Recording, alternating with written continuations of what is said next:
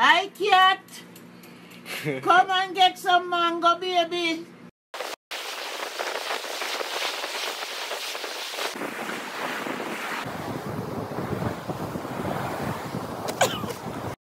One, two, one, two, three.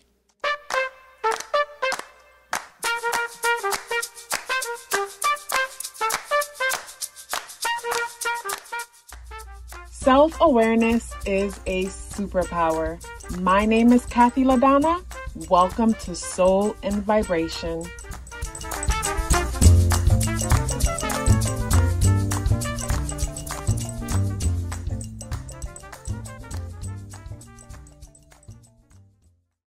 I hope the free thinkers are doing well. And if you're not doing well, I'm happy to remind you that you are the most powerful person that you know. You are the most powerful person that you know because only you can create your reality. Yikes. I say yikes because I just clicked to today's day and it just, it's like yikes. Today is Tuesday, November 15th, the day adds up and reduces the number five vibration. If today is your birthday, happy birthday. When I say yikes, don't be discouraged because everything that's happening on this day is happening for our greatest good. I look and it's like a big T square happening between the moon and Leo, the sun conjunct Mercury and Venus and Uranus conjunct the North Node and Saturn in Aquarius. So what's coming to mind when it comes to say the energies on this day is a lot of pressure, but pressure is good because I think of say Monday and Sunday where the energies was all rainbows and cupcakes, but it was hindering, it was enabling. I say it was enabling because when I looked at the energies of both those days, it's it, it created a false sense of security, a false sense of stability, a false reality. Where when I look at the energies today, the energies today is showing things for what it is. Like today is Tuesday and Tuesday is associated with Mars energy. And Mars is in retrograde. Mars has been in retrograde since October 30th and will remain in retrograde until no, until January 2023, the first half of January. And since Mars has been in retrograde, the energies within the air has been so much more sensitive. A lot of people could find themselves feeling way more emotional than normal, where you feel like you could cry for any little thing and probably cry for any and every little thing. Mars energy is that fire. Mars energy is that bossed up energy. And that energy has slowed down to the point where it feels like it's not there. So it's like that masculine energy is not present to balance out the feminine energy. So the feminine energy feels more overwhelming as far as I'm concerned, observing this energy. So with that aspect of it on this day, it could feel like a dark night of the soul because of all the squares happening to the moon. It's like the inner world doesn't feel safe to express itself. The inner world doesn't feel safe to be itself that's the vibe that I'm getting with the energies within the day. And Mars is the ruler of the day. The day is associated with Mars energy. Mars is positively aspecting Saturn. So when it comes to say motivations, motivations having to do with groups, groups and humanity based things, they work. But Mars is also squaring Neptune conjunct Jupiter. So Mars is in a space where it doesn't want to allow intuition. We're not, we don't, we don't trust intuition or we don't trust things that aren't tangible. But to me, it's not even because we don't trust it from personal experience. It just is not willing to focus long enough to dive into that.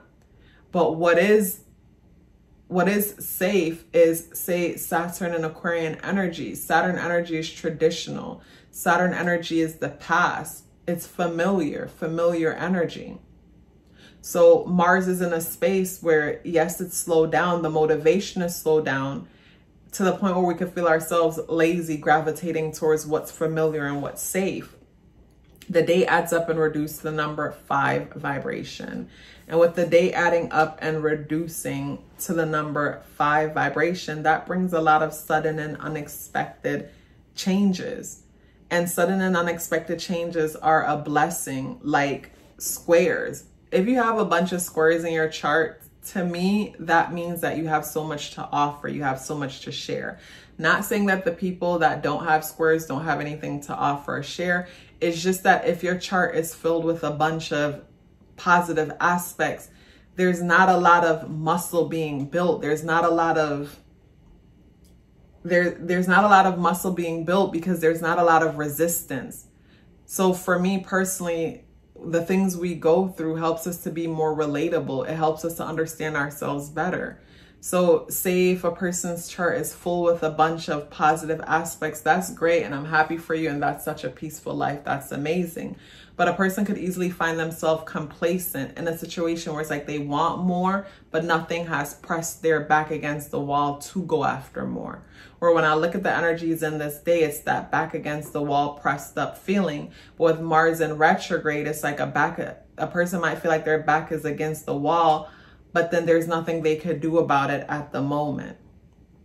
And the issue when it comes to nothing you could do about it at the moment, it could, a person could easily become hopeless and give up, but don't give up. Just use this energy. What comes to mind is say it brings me back to say when I was younger and I didn't own a car yet.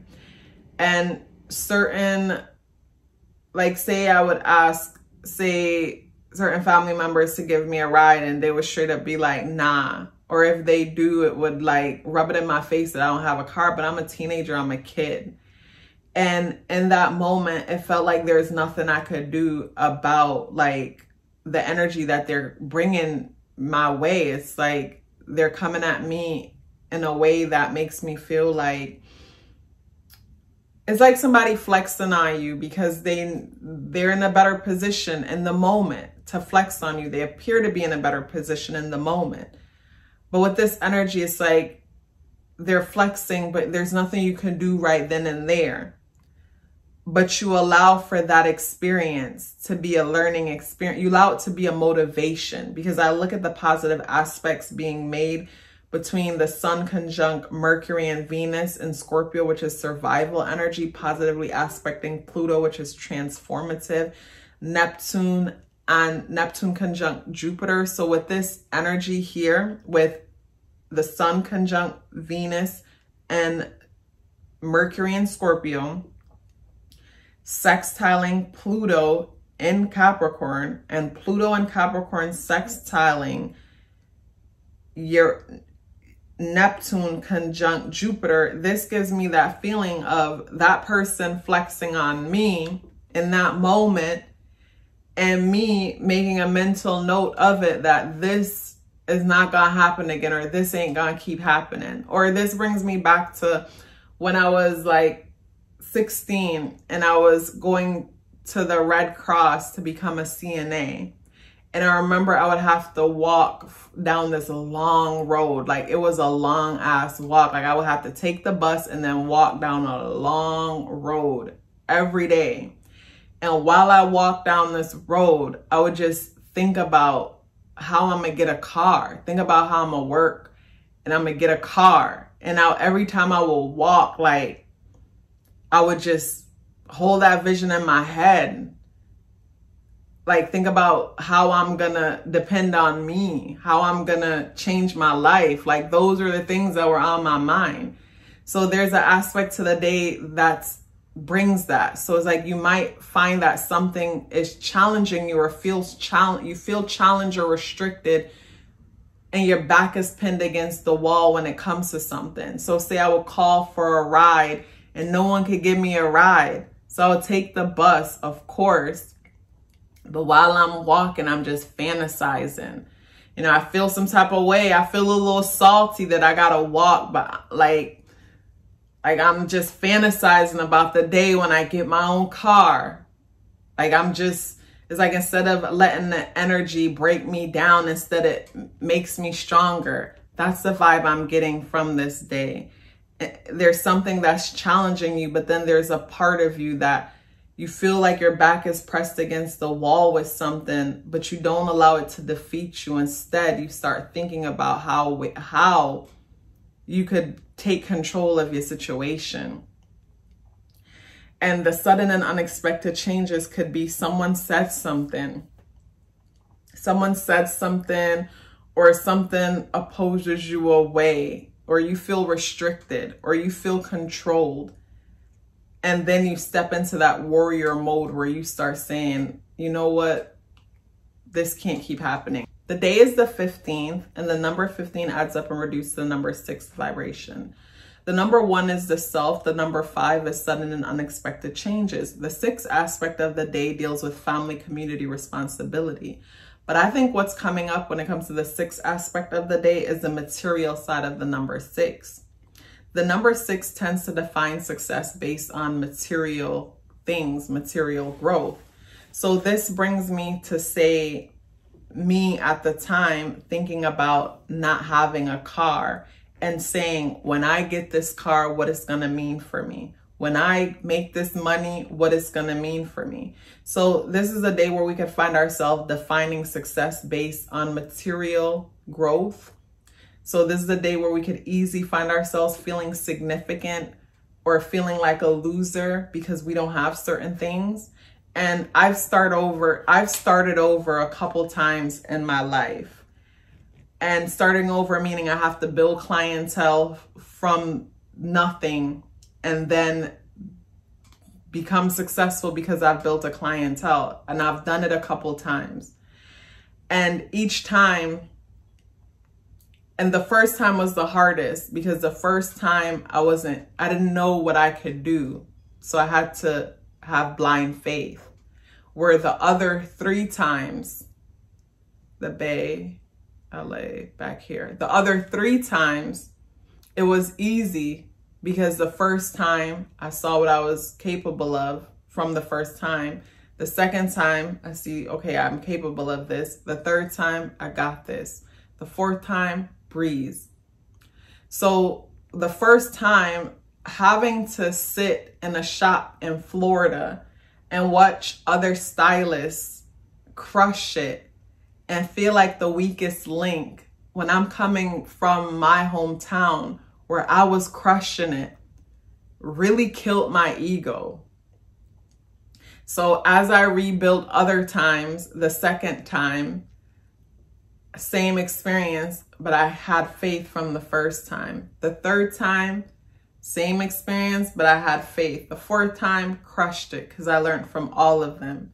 So when it comes to say this day, if you find yourself at the bottom or you're lacking or you don't have something, you got to have blind faith for the simple fact that you have this desire. The creator will help you manifest it. It's just a matter of trusting and letting go and allowing it to come to you. And also, too, on this day, it's easy to get distracted based on the shiny things around you to the point that you forget where you're coming from and what you're capable of and the things you've achieved something that I wrote down, a message that I wrote down for today is being vulnerable is scary. It's like jumping and not knowing if anyone will catch you. Your fears of being vulnerable might be the only thing stopping you from getting what you want. F it, just jump. Again, being vulnerable is scary. It's like jumping and not knowing if anyone will catch you. Your fears of being vulnerable might be the only thing stopping you from getting what you want. F it, just jump. So when it comes to say this day, you might find that this day helps to amplify something that you need to jump on, that you've been need to jump on. And on this day, you might come to the realization that you know what? I'm ready to make a change in my life. I'm ready to change my life. And the card that comes up for the day is judgment in the reversal position. This is judgment in the upright position. When I look at the judgment card, the judgment card brings me back to the Bible stories of judgment day and God coming and deciding who will get to go to heaven and who won't go to heaven. And with the judgment card in the reversal position talks about not having faith, not believing that you're capable, not having faith in yourself. And for me, the first time when like I said I had to build up a clientele in a foreign place I mean, I guess really the first time I built my clientele was back in Massachusetts where I grew up, but it was different because I grew up there. So, and I've been doing hair since I was like 12 years old or even younger, but let's just say 12 to be safe. I've been cutting my brother's hair, my cousin's hair, my uncle's hair. Like I first started with barbering because my stepdad used to hold two mirrors and tell me how to cut his hair. And then eventually I got good at it. So there it was different because just for me wearing my hair, people would stop me and I would build clientele there. It just naturally happened. But here, I guess, yeah, it was the first time. But the energies with the day, blind faith is something that you'll have to build up when it comes to, say, the judgment card in reversal position. And the way you build up blind faith, if, faith, if it's your first time doing something, you need to keep records. My uncle taught me the importance of that when I first opened up the salon. He taught me the importance of keeping, of like writing everything down. So I would write down every client that I get. And I know now you have computers to do all that. But for whatever reason, I liked writing it down. And even when I evolved to Square that kept track of all my appointments, I still wrote everything down by hand but my uncle taught me the taught me the importance of writing every client down, how much they tip, who are new, who who who are new and who are repeating. And I would write all that stuff down and of course eventually I was introduced to technology that did all that, but I still do that, but now that helps me with blind faith because when I moved to Cali, I was able to apply that same approach that my uncle taught me. It was that approach that my uncle taught me that helped me to see, okay, during September, this is what happens with clientele. During November, this is what happens with clientele. So when I went to Cali, I still kept writing everything down. And it helped me to build up blind faith because sometimes it's easy to it's easy to forget how much you're growing but it's different when you can pull out your book and see see the growth happening. After your first year you see the growth happening. You see where what months aren't that great what months are. But for you it could be anything that you're doing. For me i build blind faith by writing down my premonitions just the same. I write down my dreams and then when they play out i'm able to go back to that book and look at the fact that I wrote that. And then I get super hyped because I don't need to call somebody up and say, remember when I told you this or that? I'm able to pull my book out and I got a couple different books for different things. These are two and I have some more over there. Whatever is happening in my life, I have a book of book for it where I share my thoughts, my emotions, and I keep a record and that builds up my faith and my confidence. So that's something that might be beneficial for you on this day to build blind faith, to start keeping records of your premonition, your intuitions, your dreams. Or for someone else, it might be your business, what you're doing with your business or your side hustle. Because it was from those same records, I'm like, okay, I can move into a different direction in my life now. So building up blind faith is important with the just judgment card in the reversal position this day you could find yourself with your faith feeling broken. Something about faith feels like it needs restoring on this day. But like I said about me in the car situation when I was younger, if it's a situation where you feel hopeless and there's nothing you can do right now, let it be a motivating factor. Don't let it be something that defines you, overpowers you, or oppresses you. Let it be a, a reminder to make sure that it never happens again. Like jumping your warrior Mars energy, even though the warrior is on vacation right now. But make notes. Make notes of how and what changes you need to make in your life to bring the peace that you need in your life, in your world. And when it comes to defining things based on material growth, deciding, oh, when I have this or have that, it'll mean I'm successful. Just keep in mind that with that energy, you'll never really be successful if you're defining your growth based on material things. Because the moment you achieve something, that thing starts losing value. The minute the car leaves the lot, it starts losing value. Depending on what's going on in the economy, the home starts losing value.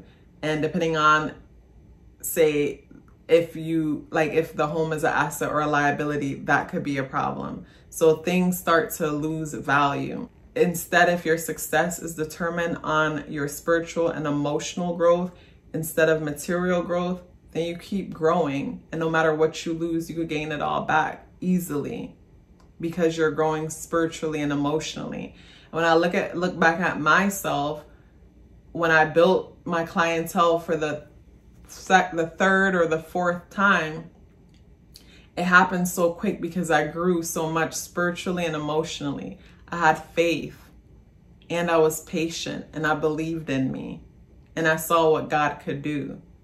So reflect on those times for yourself when the Creator came through for you.